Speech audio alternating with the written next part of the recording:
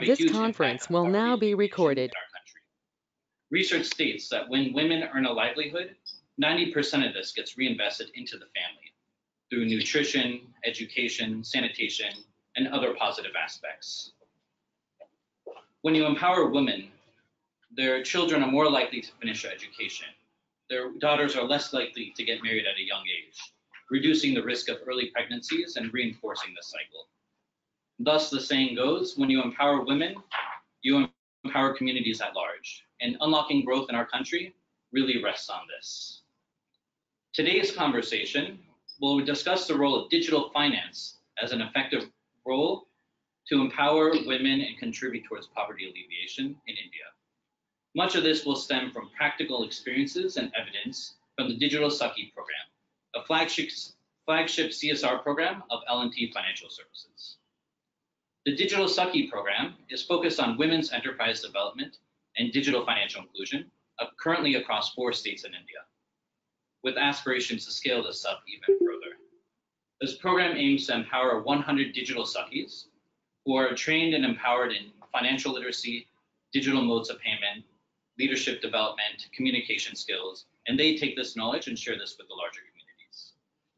In parallel, we're also working with 1,000 women entrepreneurs who are provided upskilling trainings in their technical trade, trainings in enterprise development, and also trainings in digital financial literacy provided by the Digital Sakhis. The panel of speakers today have very rich experience in their respective fields and will, will be able to give us great insights into this topic. Allow me to introduce them. Mr. Satish has been the executive director of Sadhan since March 2015. Prior to leading Sadhan, he was a chief general manager heading the microcredit innovations department at NABARD for nearly 15 years. Welcome, Mr. Satish. Thank Happy you. to have you. You. Another speaker is Ms. Richa Pant, the group head CS of CSR at L&T Financial Services. Richa comes with rich experience, over 15 years of working in the area of corporate social responsibility and sustainability, having worked across diverse industries, including automobile industry, pharma, telecom, and financial services. Her expertise includes conceptualizing CSR programs that deploy management strengths and skill sets to deliver high impact, value driven social programs. Welcome, Ms. Richa. Lastly, we have Mr. Subhash, the current executive director of AFARM, the implementing partner organization for Digital Saki program in Maharashtra. He began his career as a junior engineer on the ground nearly 27 years ago with AFARM and has been executive director for over a decade now. His expertise lies in agriculture, water resource development, program design, strategy, and execution. So again, uh, welcome, Mr. Subhash. So again, we have a very uh, well-experienced group here today, uh, topic, speaking on this topic. So let's begin. Mr. Satish, could you talk a little bit about the role of digital finance as a medium for poverty alleviation in India? Uh, not only in India but all across the globe, at least for the last 30 years, uh, financial inclusion has been recognized as a tool for uh, poverty alleviation, especially among, among women. And within this, when you talk about financial inclusion, uh, making this access universal is only possible through digital means because uh, accessing uh, people in remote areas is possible only with uh, digital finance. And uh, digital finance enables women, especially, to access varied types of financial services like savings and thrift, credit, and it also enables them to receive the social service uh, benefits to the direct benefit transfer, which are their entitlements. Uh, and in a way, uh, even uh, uh, research and evaluation over the last uh, uh, two and a half decades has proved that in varying levels, poverty alleviation has been possible by financial access, especially for women. That's that's great. That's great. So using digital as a, a medium to access formal financial services and the uh, benefits that come with that. Yes, yes. Wonderful. Great. Uh, Ms. Richa, we have another question for you. Uh, can you talk a little bit about the early motivations behind L&T Finance's CSR work in digital financial inclusion? And how did this eventually evolve into the Digital Sakhi program that we know today? Yeah, mm, Rahul, see, the Digital Sakhi program is very much in alignment with the government of India's uh, mission of driving a less cash economy. In fact, um, our presence, you know, our rural presence, uh, when uh, demonetization happened, we could uh, see the distress that was faced by farmers and some of the rural community members. And that was the time that we decided that why not take this agenda forward and uh, educate and make uh, people aware about various digital modes of payment that the government of India has been promoting and uh, use the women as a change agent to promote this particular aspect. And uh, since we work very, uh, we have a microfinance business and we women are our customers, and we said that why not look at, you know, uh, look at these particular women who can kind of, you know, train larger community on these particular modes of payments and also understand what are the financial literacy levels existing in those areas.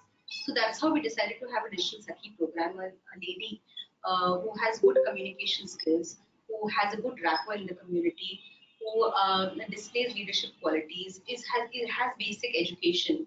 She is equipped with a tablet which is provided to them, where digital uh, a module is fitted into the tablet, which is developed in-house by L&T Financial Services along with certain experts, uh, knowledge experts. Uh, and then she goes door to door, uh, educating a larger community on these uh, aspects. So that's her role, and each digital in fact, is given a target to reach a certain number of households. Um, we started with Maharashtra. Gradually, we have uh, scaled it up to now four states in MP, in Odisha and Tamil Nadu. That's great. That's great. So, so ecosystem kind of level um, um, events such as demonetization, government policies and priorities such as Digital India, and of course the needs on the ground.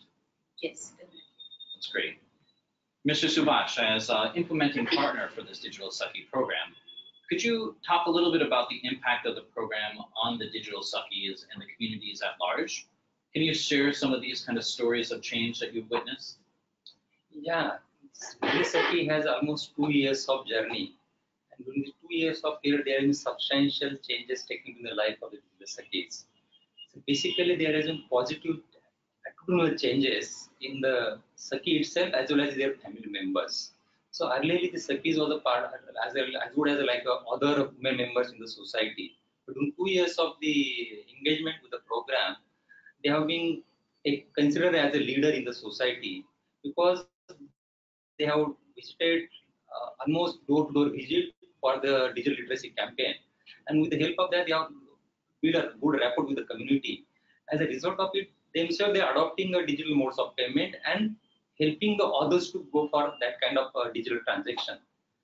Apart from the working as a uh, medium, they themselves started using internet, browsing internet, uh, surfing for uh, uh, web information. I can quote an example like so there are some digital circuits who are help with the help of the internet data, lot of educational material they are surfing and downloading and using for the, learning of the, their childrens because of this digital Sakhi program, she has become one of the earning member of the family. As a result, uh, is a wise is being taken consider in the family level decision making, and they have a good rapport with the uh, other communities also. The another uh, impact I can see that uh, most of the villages there are public gathering taking place, like we have this uh, flag hosting uh, events, because see what a good, good impact on the society that Sakhi has been invited as a, one of the chief guests for the flag hosting or other public gatherings. So it's a leadership qualities and the shows. The another, uh, I think, is basically altogether trust building. Being a local lady, she has been helping the villagers, particularly the poor family members, for accessing government schemes and programs for the financial inclusion. So she become one of the uh, trusty, uh, delivering a good information how, how to approach here to approach, and large number of people are getting benefited out of his help. Her help. That's great. That's great. So really have been able to see the the change within the digital Sakhis themselves, the empowerment, the confidence, the leadership, how they're being viewed by their communities, And then, of course, providing access to information like government schemes and uh, access to uh, formal financial services and even uh, access to knowledge as well. Yeah. That's wonderful. Great. Uh, so, Ms. Richa, um, so given L&T Finance's uh, domain expertise in microfinance and even providing loans to women entrepreneurs, how did this all contribute towards the design of the program? See, Rahul, that's how, uh, like I mentioned, you know, we have programs, uh, typically how a CSR program runs, you know, uh, if you're looking at a, an extraction-based industry or a manufacturing facility, you have plans around which you would like to have your CSR programs that goodwill is generated. Similarly, we also saw our business adjacency, that's our core criteria. So we see to it that, you know, uh, wherever we have meeting center presence, we take up villages there. And we uh, identify digital sakhis within those villages and educate the larger communities there. So uh, basically, there are two, three things associated with it. One is, of course, geographies, uh, which are selected, um, which are taken from the business teams, as well as when we do a needs assessment survey to understand the core need needs to be there. So we do needs assessment survey, then we do infrastructure uh, feasibility assessment study because you are teaching uh, teaching digital modes of payment, so you need to have uh, access to smartphones have to be there, your internet availability needs to be there. So that is taken into account. And then baseline study is done to identify the indicators of change that's how we kind of uh, take up the digital program. So our uh, the, the, very fact that you know we include our itself is that we're using our uh, business adjacencies. That's a core thing. Of course, being a financial institution, we thought, thought of taking up this as a core trust area because we have expertise. So, like our module that I spoke about, it's developed in-house by uh, L&T, uh, Financial Services, the CSR team, the learning and development team, uh, we of course use the open source uh, modules that were available by the RBI and certain experts who have digital modes of payments expertise. So that's how the module was developed. And uh, we've been uh, using this module, digital studies have been using this module extensively. So both the things, adjust business adjacency is something we have taken into account uh, through our uh, microfinance business and using our own expertise as a financial institution to develop the module. And we continue to do that. That's great wonderful to hear. So leveraging the uh, business expertise, uh, the geographic kind of presence, and then of course aligning that with needs on the ground. Wonderful. Great. So uh, Mr. Subhash, uh, in terms of the on-ground implementation, can you talk to us about the role of women as community change agents for digital finance? Are there any specific benefits of involving women in particular to drive this kind of change? Yes, certainly, yes. I think everybody knows that India being a, a male-dominated uh, culture, so one of the major challenge was how this woman can come out of her home and work with the community.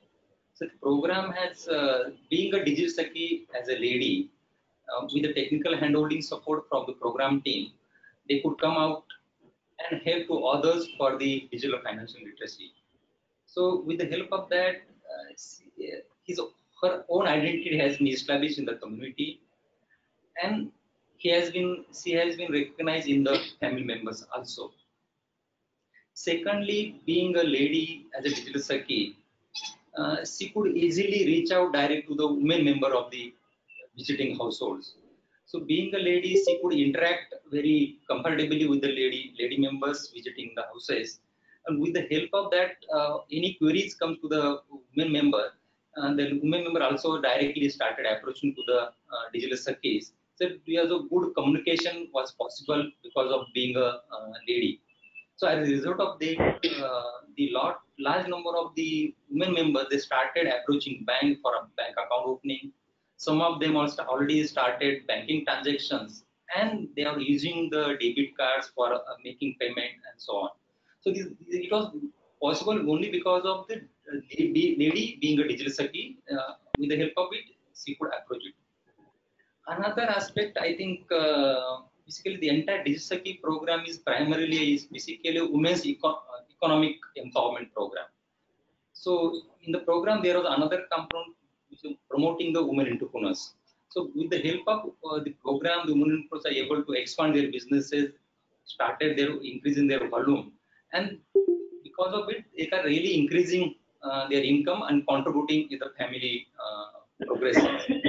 so with the help of the digital Sakhi, the women entrepreneurs are also able to do business transactions by using the digital modes of payments.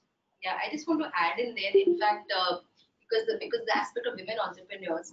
Uh, so uh, you know, it's not just uh, we realized very in the early beginning only that you know it's not just the financial literacy that we need to look at. We also need to look at the livelihood base, and that's the reason why the second leg was added parallel while we started program uh, working on women entrepreneurs and upskilling them on agri and agri allied trades because education is one thing, but the base remains the livelihood. So, uh, in fact, the entire Digital Sakhi program has been co-created, you can say, with LTFS, our NGO partners, and the community needs. The fact that Subhashji mentioned about entitlement training, that also when we do, we regularly do stakeholder workshops to understand what are the needs of the community and what do they want really. So, entitlement was added there. And in all of our programs, whether it is Maharashtra, MP, Tamil Nadu, and going forward in Odisha, entitlement training is also uh, very much part of uh, Digital Sakhi program they understand what the government schemes, government schemes are then made into a, in fact, there's a good module that we have prepared, which is animated version for entitlement. And then that is also given to the larger community. So it's a, it's a continuous process of taking feedback from community, from our NGO partners, from other stakeholders, and then uh, you know we develop the module uh, kind of thing. That's how it uh.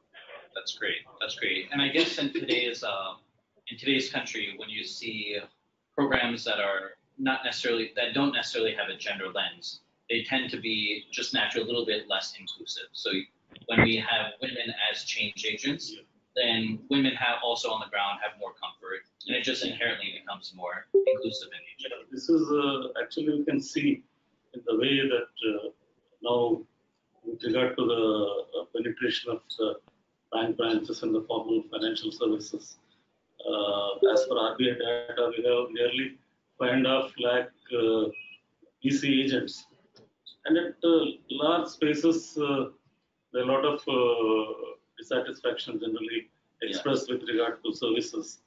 But there, uh, we feel that, based on my experience, it, Digital Sakhi acting as a, a business correspondent of a bank, since she is from that village and she is from that community, adds a lot of uh, value rather than a BC agent who comes from somewhere in a nearby town, is in that village for a few hours and goes by.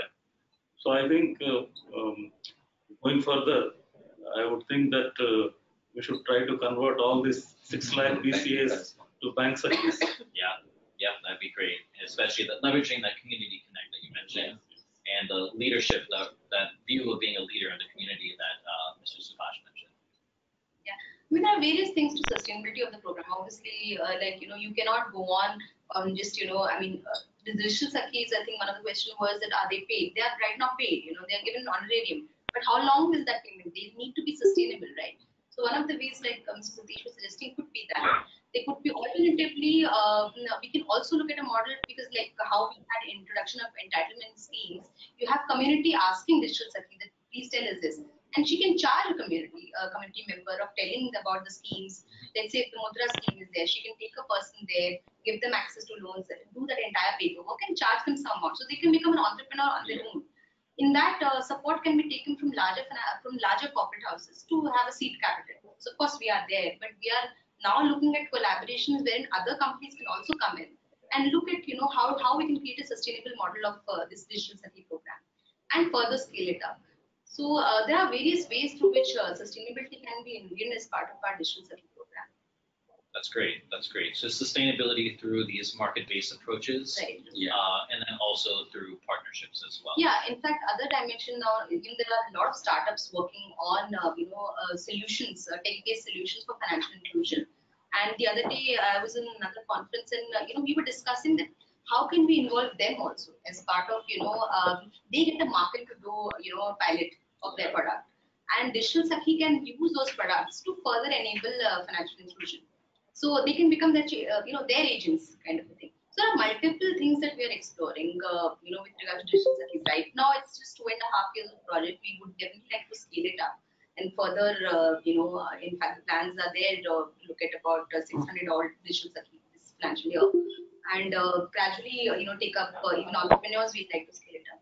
But further, how sustainability can be ensured, that's where, in fact, we're looking at a lot of collaborations to take place, whether it is startups, whether it is other corporate houses, whether it is industrial houses, maybe a Sadhan can support us in that. Let's see, you know, how it goes. That's great. great to hear it. Cool. Uh, Mr. Satish, uh, given your experience uh, working at the ecosystem level, working with NABARD, uh, wanted to understand where are we today with respect to penetration of digital finance, and where do we need to be? What are some of these systemic institutional enablers that will allow for this? No, with, with regard to penetration, I would say that uh, uh, we have 6 lakh villages in India and uh, 50,000 bank branches. Uh, and as I was mentioning, uh, five and a half lakh points of access. So all these points of access are on a digital mode. So it means that to the extent that access has reached a point in the rural India, we have accomplished the digitization part.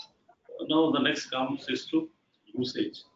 Uh, uh, and uh, we have done a lot over the last five years. Like every year, the POS machines, the numbers are getting doubled and all. But still, we are uh, behind some of the economies like China in terms of uh, numbers. Then another is that uh, mobile usage as an instrument of digital financial access. Africa has done a lot. We have to do a lot in that uh, because the ownership of mobile phones is there. Uh, women ownership of mobile phones. There are a lot of things uh, which needs to be done there, and uh, and also with regard to digital financial literacy of women. Uh, wherever we have uh, projects and capacity building initiatives, we are able to do that. Uh, but in other areas, uh, there are still a lot of gaps which uh, need to be filled up. So uh, I would say that uh, uh, mainstream financial institutions, microfinance institutions, uh, added with the support of government, uh, we have to we have a lot to do uh, to take these services and make them more widespread.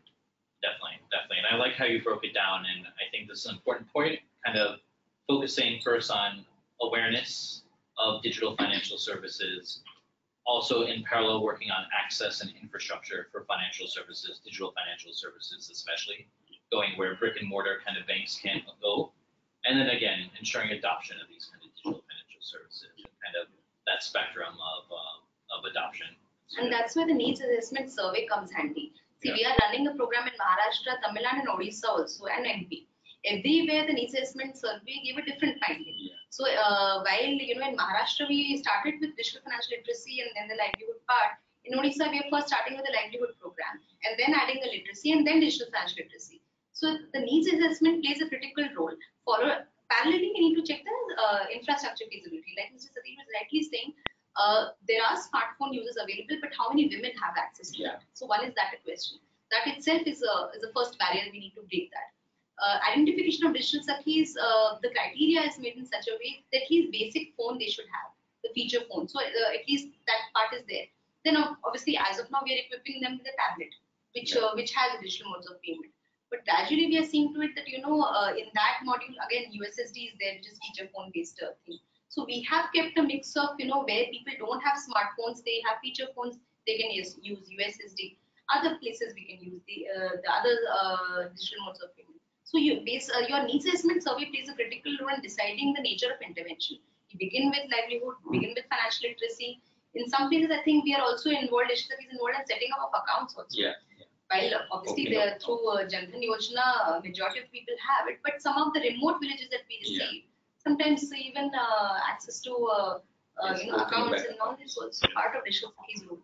That's great. So using these kind of needs assessment to drive program design and to drive decision making Yes. seems to be very critical. Yeah. Wonderful. Great.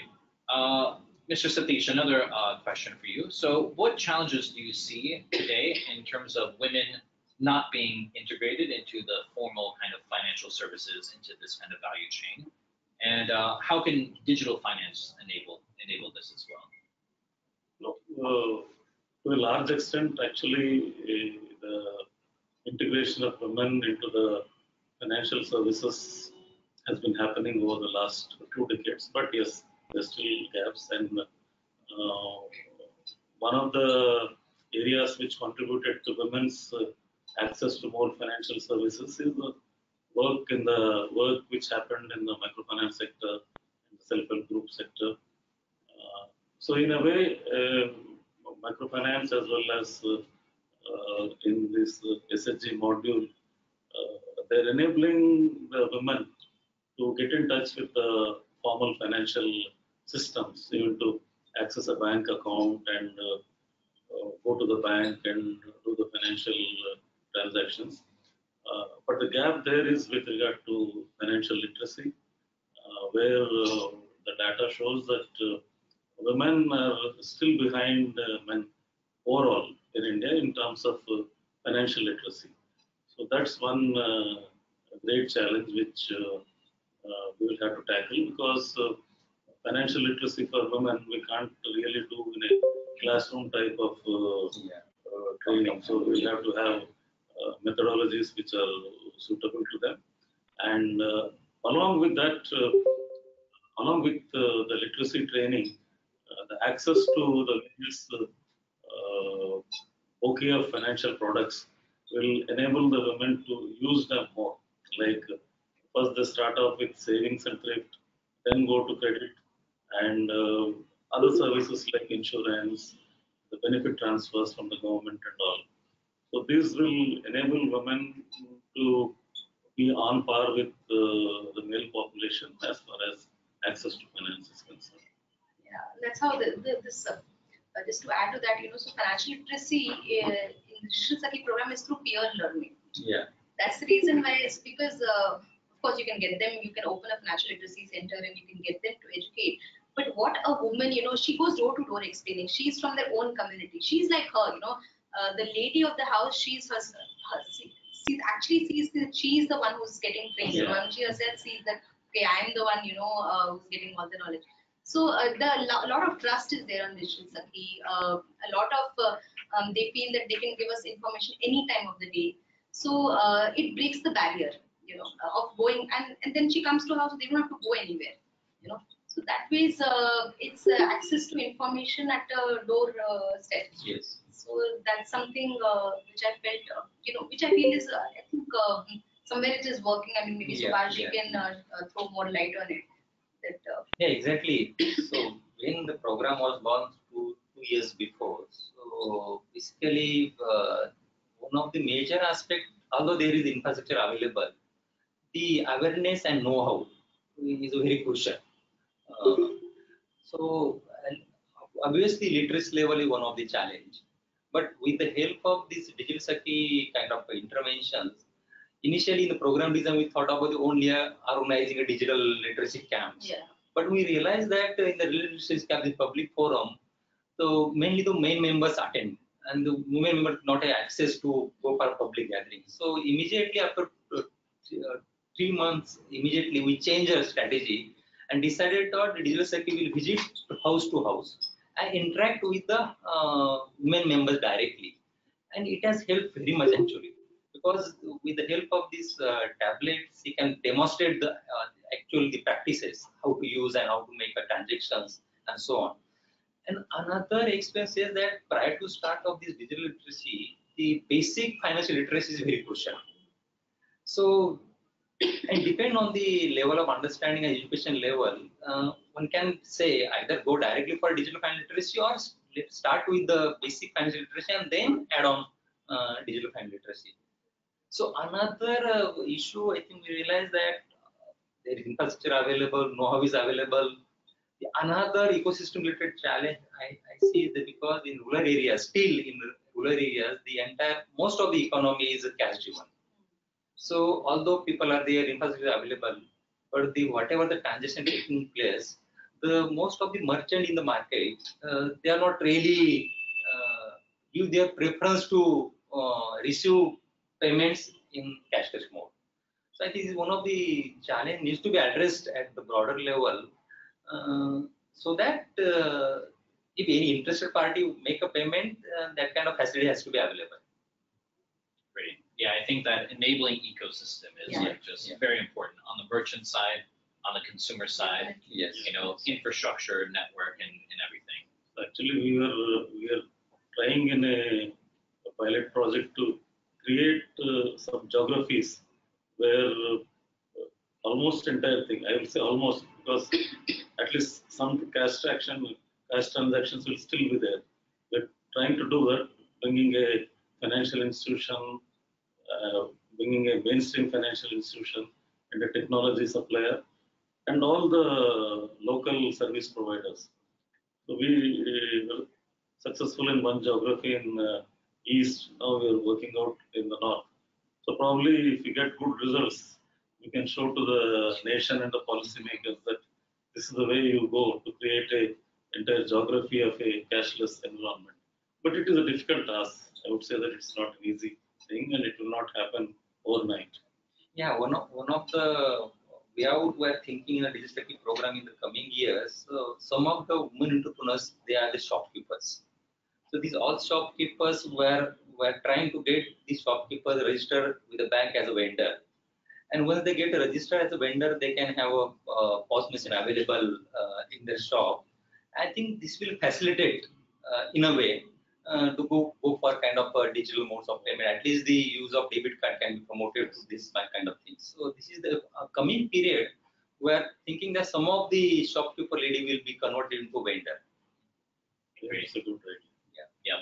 And I believe like, uh, you know, to ensure adoption, like even starting with these kind of day-to-day transactions, you know, like Yeah, buying, you know, different day-to-day items, paying your electricity bill and these other kind of things through your, your mobile bill through these digital modes seems to be like, um, you know, the best kind of leeway in.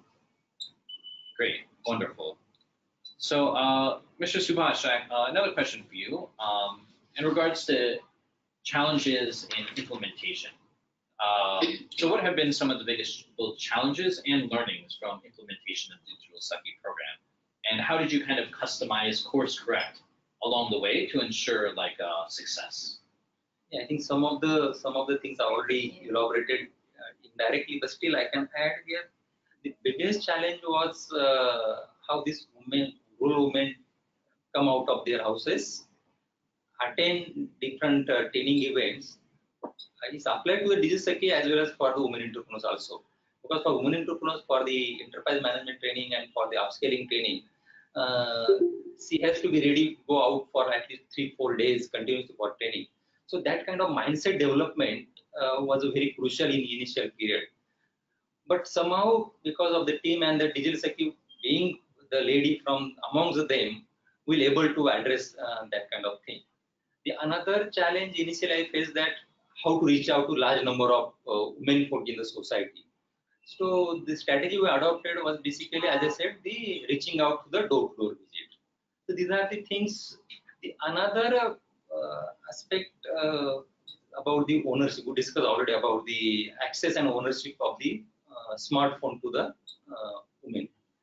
So having seen the benefit of this uh, digital Sakhi's interventions, so nowadays situation in the project village like that. At least one member of the house have a, a smartphone available. So we, we are realizing that in large number of houses now this lady from mm, using the uh, either son's uh, smartphone or the husband's phone for um, like making a payment of electricity bills or TV recharge. Uh, some of the ladies already started kind of online shopping and the making uh, uh, train or bus reservations online. So these are the things are happening slowly, slowly. Yeah. In fact, uh, when we did our uh, inline surveys, you know, we have baseline surveys and we do inline surveys. We could see that the usage of mobile wallets and debit cards has actually gone up. Yes. Uh, we have uh, stories where you know women have gone along with their husbands on their scooters and filled uh, you know petrol Yeah, using yeah. debit card at the petrol pump. And uh, mobile wallets, like uh, Subhash was saying, uh, are being extensively used. Uh, Of course, they have various cash uh, back offers, which Yeah. encourages them to use it. Yes. But uh, this education has helped them uh, to use these mobile wallets.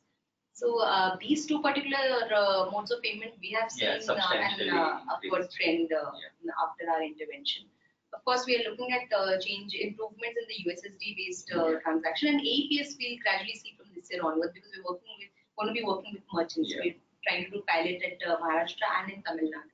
So we'll be working very closely with uh, women entrepreneurs who are running kirana stores. Yeah. That's great. It seems like uh, through this program that that almost that business case has been made for using cashless modes of payments. That it's easier, Yeah. quicker, cheaper, more convenient, and so forth. Right. Great.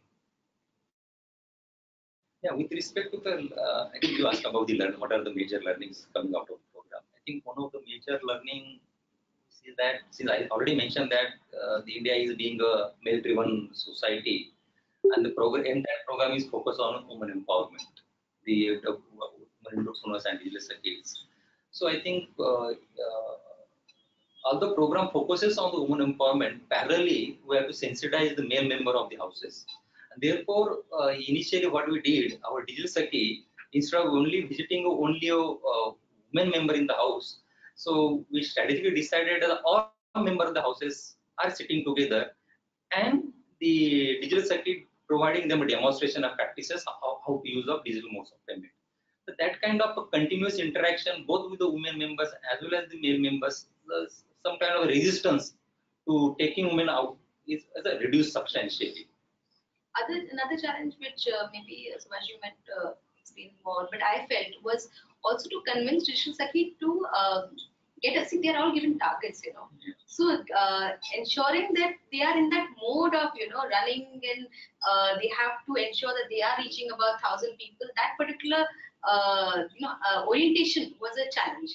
Gradually, they understood that you know this is for their own uh, you know community upliftment, and they will they obviously get paid for that. But they need to do that. It took uh, them time Yeah, to yeah, yeah. uh, to Realize become that that, uh, yeah become that driven because they were into their own uh, you know uh, their own, setup and uh, like you know confidence was also a gap but gradually uh, once they started you know having the confidence of being more mobile and going to other villages and the fact that they need to fulfill target with a lot of they, so there's a lot of pressure on digital Yeah. also to do that and uh, th- that's where the role of our implementing partners and that's the way to become professional because that's how even we work right we all have targets right so that's how we're looking at digital Sakhis to also kind of and they feel empowered you know uh, at the end of the day uh, when we do a you know a conclusion events uh, like how we have a you know stakeholder events towards the end of the year you have digital Sakhis coming and they come very thrilled that you know uh, Didi, I have achieved my target and actually I've overachieved my target. So you have you know digital Sakhis uh, having that kind of happiness and you feel good about it, you know.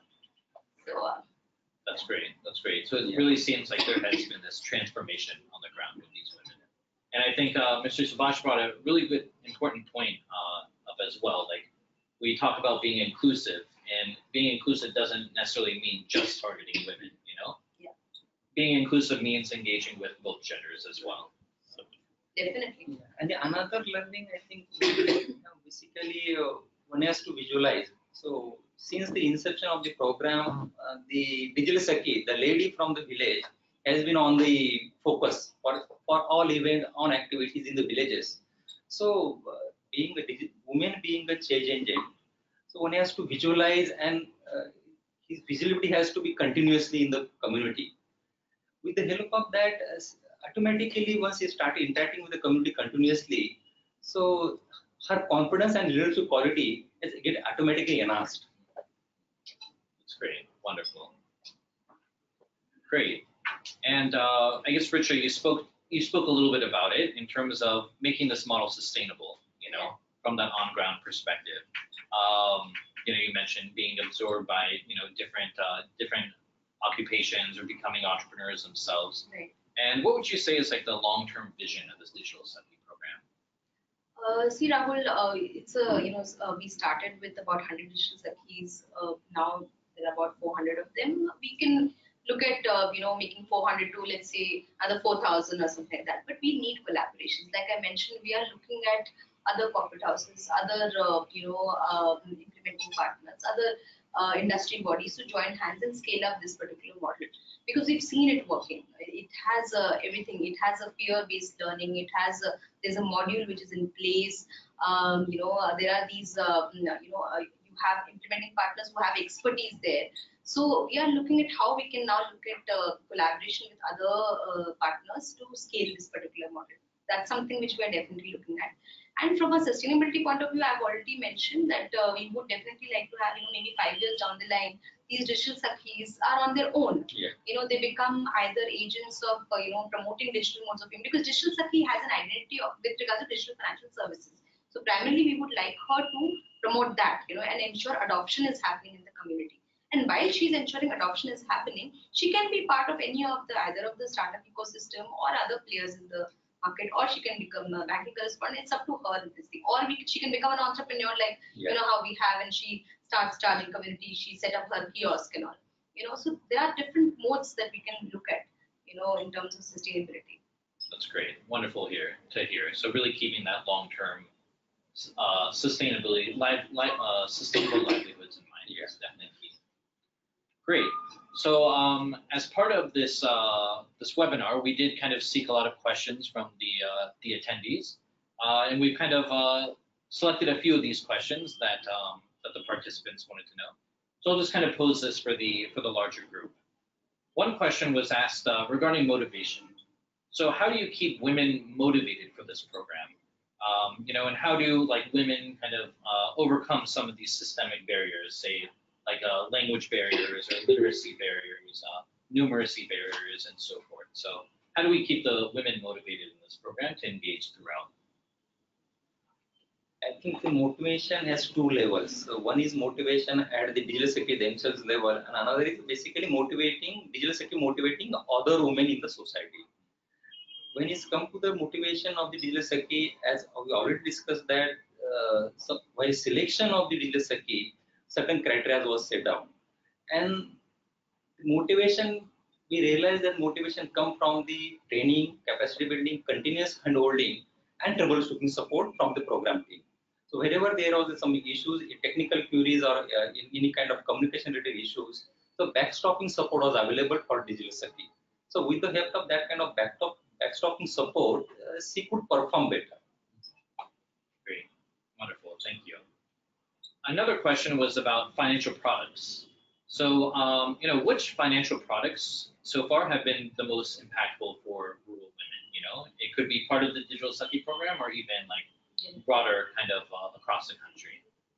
Actually, if you see uh, across, first thing is uh, contrary to what we generally assume, uh, savings and thrift is a most important uh, financial product which uh, women want to have because they know that through thrift, whatever they save is first used for the family, for the children, for the emergencies, and for small uh, uh, infrastructure related things in the home. And next comes the credit product. And third, I would say, is the transfer of benefit transfers from government, which they are uh, entitled uh, legally, various types of uh, pensions and other social service payments.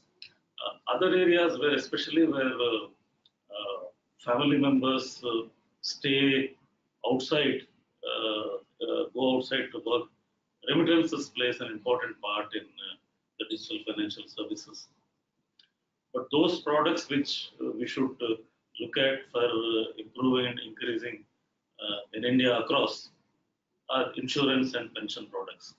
These are the products which uh, are to be uh, uh, taken to the people in a bigger way, and uh, uh, the penetration of these two products is quite less now. In fact, we keep getting questions on insurance uh, because we've been interacting. Uh, so we have program uh, around watershed work also, where we work very closely with farmers. So both our target group, whether it is women entrepreneurs or our farmers, they have been very keen on understanding what are some of the products on crop insurance, cattle insurance. Yeah. These are very common. Uh, uh, so they ask digital sakhis because they are the ones who are. Right. So we have within our module we have uh, you know education. So we have one on insurance and another one on pension. Yeah. There are two modules on that. So while education is happening and they know that these are the schemes of the government, but what are different other products that are existing in the market? They want to have uh, understanding and they want to adopt it. So that's uh, definitely one uh, area that we Yeah, need we to are look at. Yeah. That's great. So it seems like these kind of financial products, uh, reducing risk in two regard. One, I mean, in, in terms of keeping um, these kind of savings into interest-bearing accounts rather than kind of keeping it under the mattress where it is not very safe and secure. And then, of course, risk mitigating risk in the other regard in terms of insurance and so forth, you know, natural disasters and Yeah. kind of that might impact livelihoods as well. Yes, Yes. Great, wonderful, cool. Uh, wanted to see like um, maybe this is more of an ecosystem level uh, question. Like, what are some of the roles of uh, MFIs and banks in terms of uh, providing access to uh, financial services, digital financial services? Like, what role do, do banks have to play in this? I would say that uh, uh, banks should get more involved by taking on board the this entire world setup of digital financial Sakhis in the sense that they have to realize that uh, this uh, medium is a, an effective one for them to enhance their businesses in the rural areas, both in terms of savings, uh, spread of their credit products. So in the longer term, if the banking sector engages uh, more deeply with the digital financial Sakhis, uh, it will pay them a huge dividends in terms of uh, business expansion of their rural branches. Usually they say that businesses are not, uh, business growths are a little flat in these areas. So I would suggest that uh, uh, leveraging the presence of digital uh, in rural areas would make immense business sense for the banking sector. Of course, microfinance institutions always uh, uh, are engaging with women, but they also can uh, take the help of these services of digital Sakhis. Great, wonderful.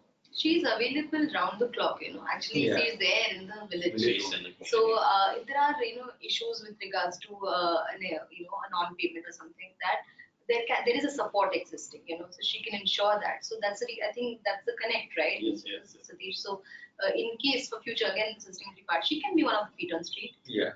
and uh, ensure that you know uh, the payment is happening on a regular basis.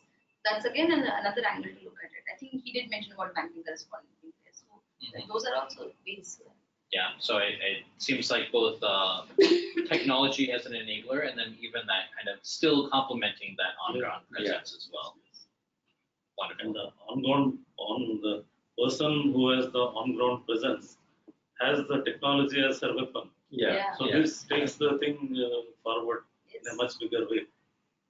it combines uh, this program combines women empowerment and digital finance. These two are connected uh, in this particular model, and that's the reason why we see it working in different geographies. Yeah. Great, wonderful.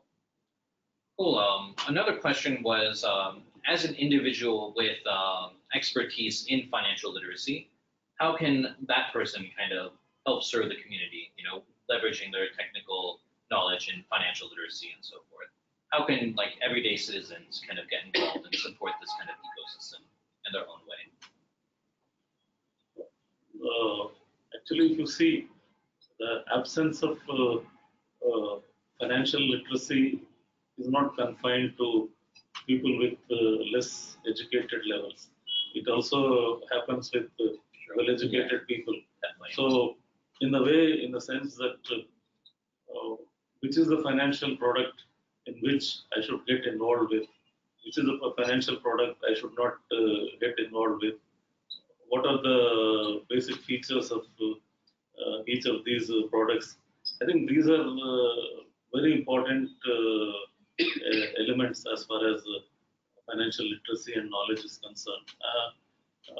I would say that in in a longer term, if financial literacy is more widespread, then uh, there will be no scope or place for uh, any uh, unscrupulous persons or groups to spread uh, questionable financial products among the people, which even now on and off it happens, where people are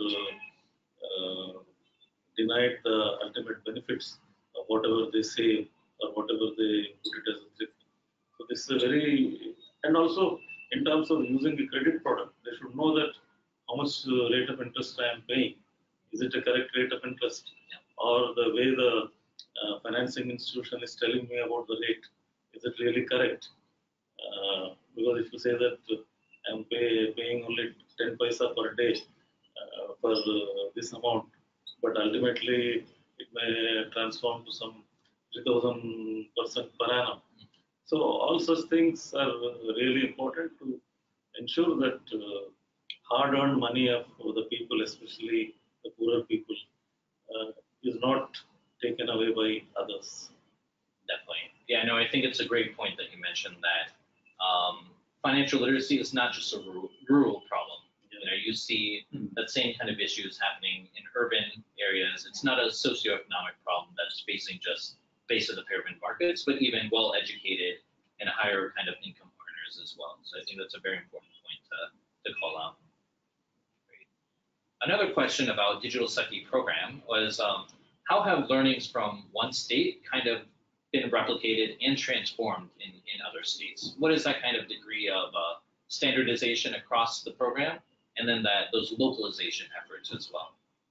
So as I mentioned before, Rahul, uh, the needs assessment survey plays a critical role in uh, understanding the situation which is existing on ground. While the model is there, uh, it's ready model, and lot of learning, in fact, from Maharashtra we took when we were uh, when we did a launch of uh, MP project, and when we uh, are now you know uh, increasing our uh, Tamil Nadu and Odisha presence.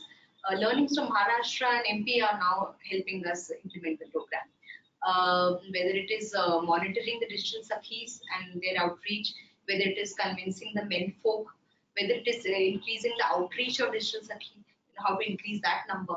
So all that you know has been helping us in implementing the other states program also.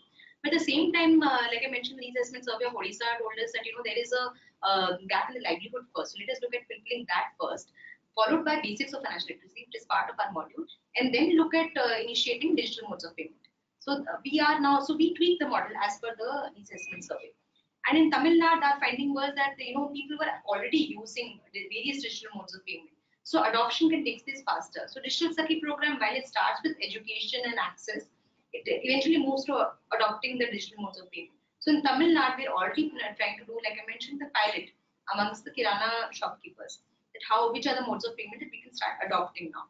So digital Sakhis will besides educating the community, will also look at adopt, adoption rate. So all that comes from a needs assessment survey that, uh, that these are the local uh, realities and that's how you need to tweak the model everywhere. Um, besides that, there is of course a language challenge. So in uh, Odisha in Tamil Nadu, uh, we have digital Sakhi uh, module which we converted into the vernacular. So both uh, whether it is the main module or the animated version. So the, the entire module also has animated uh, versions which are two two minutes kind of a visual animated videos which are converted to Tamil, which are converted to Odia so that the local people and Sakhis can easily translate that. So both language uh, part is taken care of. Besides that, obviously we tweak the model as per the local uh, assessment survey. And then we see to it, then define indicators as per that. That's the reason why co-creation is essential. Co-creation, while your model is in place, but you need to sit along with the implementing partners, certain community stakeholders, certain experts on digital modes of payment, and then uh, tweak the model and implement it there. That's great. Great. Thanks for sharing. That's uh, very good insights. Cool. So we're uh, kind of um, nearing our the end of our time today.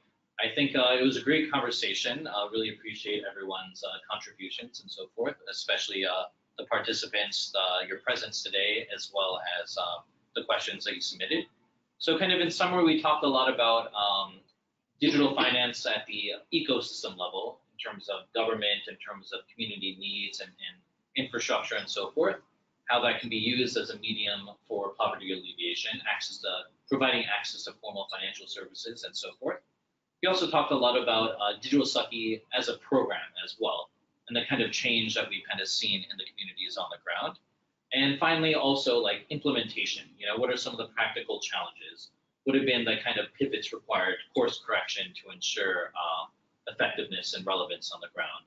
And um, yeah, again, once again, really uh, appreciate you all kind of uh, your time today and uh, participation in this. And again, same to the audience for for being present. So um, yeah, there's a lot of literature out there on digital Sakhi program. Um, and uh, would encourage you all to kind of uh, look into this further. Thank, you, thank you. Thank you.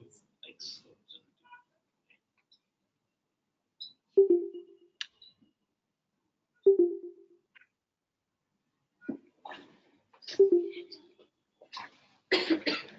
it audible there?